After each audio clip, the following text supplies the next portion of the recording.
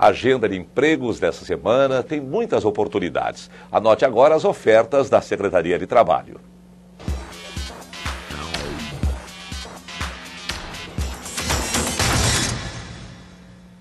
A Secretaria Estadual de Trabalho e Renda oferece 88 vagas para auxiliar de limpeza, 180 para fiscal de loja, 859 vagas para atendente de lanchonete, 79 para auxiliar de linha de produção, 78 vagas para servente, 23 para garçom, 57 vagas para vendedor, 120 para entregador de bebidas, 59 vagas para promotor de vendas e 101 vagas para vigia.